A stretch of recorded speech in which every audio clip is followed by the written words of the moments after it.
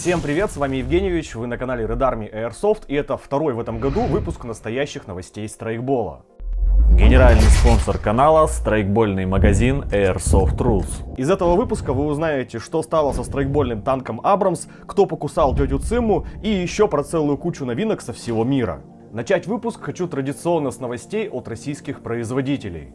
Компания Strike Arms наконец закончила работу над финальным внешним видом привода Bastard. Если кто пропустил, это такой результат кровосмешения АК и М-ки. То есть корпус стальной, штампованный внутри гербокс третьей версии, но питается он от магазинов от М4. Внешка, наконец, без элементов 3D печати, только сталь, алюминий и литой пластик. Внутри первого серийного образца стоит новая камера хопапа от Combat Union. И когда наконец будет готова вся партия этих новых камер хопапа, тогда Strike начнут продавать новые бастарды. Еще производитель показал видео с тестовым отстрелом этого привода, видимо желая показать, как хорошо работает этот хопап. На видео с 50 метров попадает в лист А4 с выхлопом 1,2 джоуля. Но будем честны, что опытным игрокам очевидно, что практически любой привод из коробки на самом деле может также, если в него поставить резинку хопапа, которая может достаточно закрутить шар. Ну и, конечно, стрельба с рук тестирует на самом деле только стрелка и его кучность. Но все-таки факт остается фактом. Попадают с 50 метров в лист А4, что на самом деле не так уж и плохо. Следим за новостями и ждем выхода этого самого бастарда.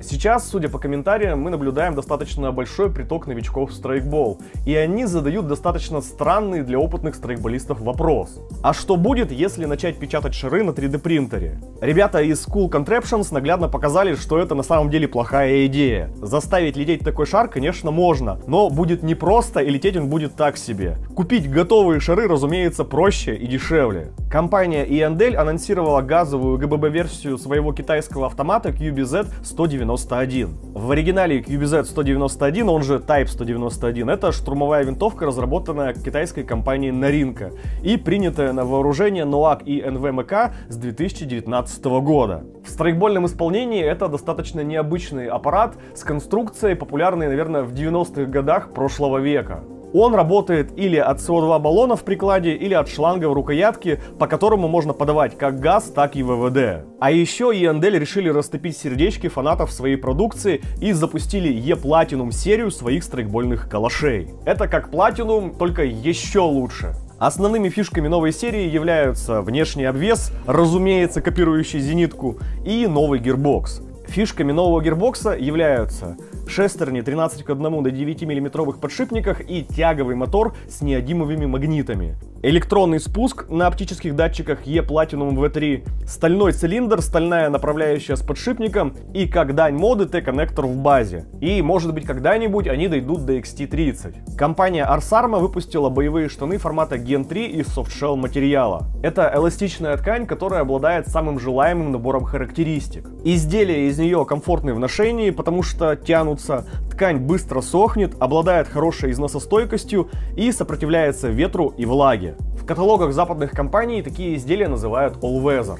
Крой классический и привычный многим, Gen 3, со встроенными наколенниками формата Airflex. Есть система регулировки положения наколенников. По бокам, разумеется, есть удобные объемные карманы со внутренней организацией, ширина пояса, разумеется, регулируемая, а подробности по ссылке в описании.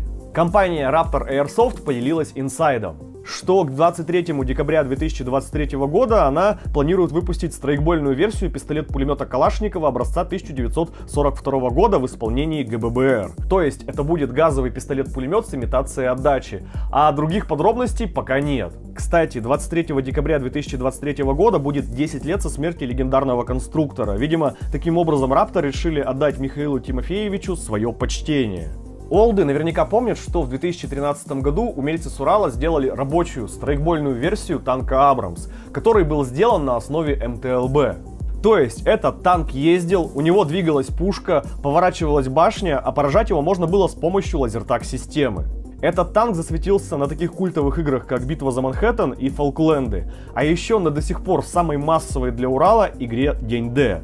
Так вот, сейчас эту легенду, а точнее обвес от него без МТЛБ, продают на Авито. Посмотрите сами. Компания High Power Airsoft анонсировала выпуск биоразлагаемых трассерных шаров весом 0,3 грамма в трех цветах. Красными и зелеными шарами сейчас уже никого не удивишь, но вот голубые шары я вижу в первый раз. И по фотографии создается впечатление, что эти самые голубые шары самые яркие. Интересно было бы посмотреть на них вживую. В магазин Airsoft Store специально, видимо, к сезону приехала большая партия уже успевших себя зарекомендовать шаров Ace. В наличии есть обычные белые шары весом от 0,2 до 0,3 граммов для автоматов. Есть тяжелые шары для пулеметов, марксменов и снайперов весом от 0,32 до 0,4 грамм. И есть трассерные зеленые шары для ночных игр из спидсофта весом от 0,2 до 0,25 грамм. И со всем каталогом, как вы понимаете, можно ознакомиться по ссылке в описании. Кстати, магазин Airsoft Store является официальным дистрибьютором компании ICS. И компания ICS совсем недавно выпустила свой каталог на 2020 2023 год.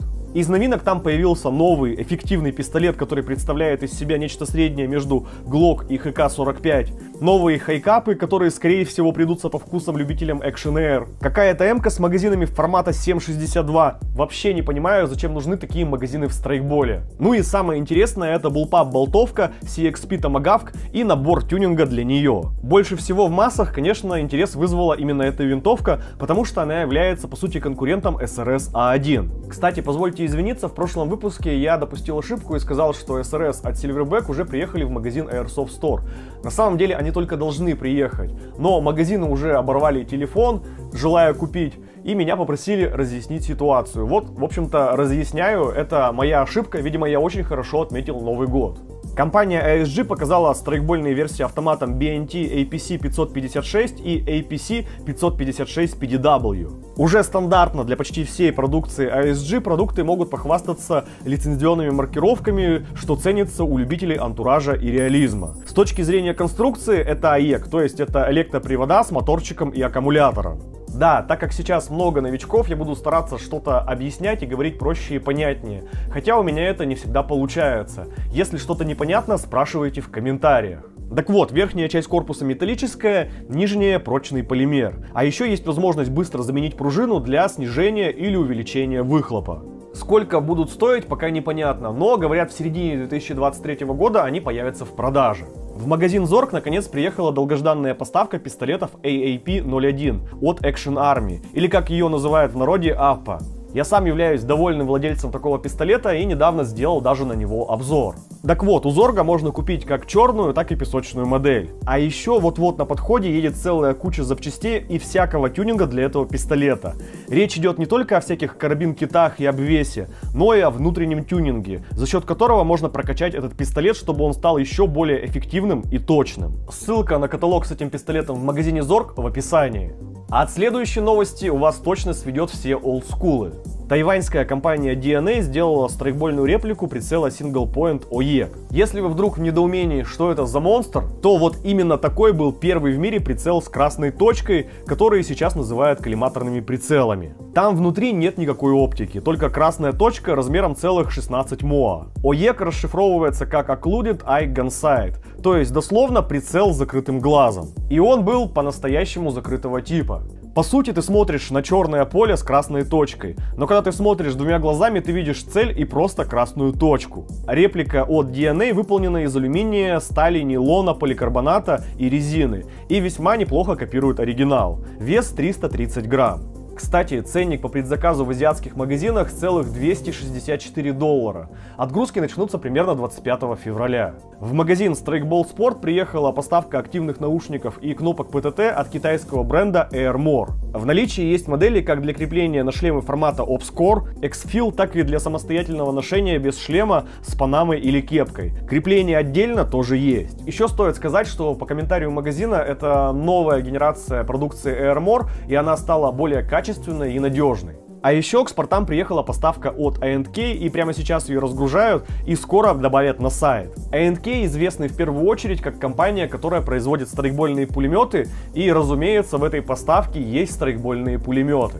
Точно будут ПКМ, разные варианты М249, Эмки, Массады и несколько винчестеров. А что еще приехало, заходите по ссылке в описании на следующей неделе и смотрите. Компания EMG сделала лицензионную версию глокообразного пистолета BCF-19 от F1 Firearms. Если вы вдруг не знаете, то F1 Firearms это производитель всякого гражданского оружия из Техаса.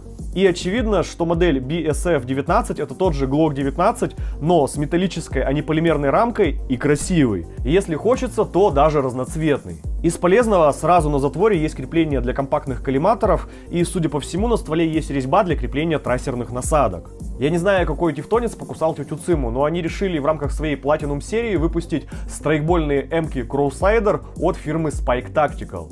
Если что, то Spikes Tactical это американская мастерская из небольшого городка Апока во Флориде. Как и другие кастомные мастерские США, больше всего на свете они любят изгаляться над внешним видом эмок. И самый яркий экземпляр их деятельности это серия Crusader, в которой шахта для магазина выполнена в виде топ-хельма.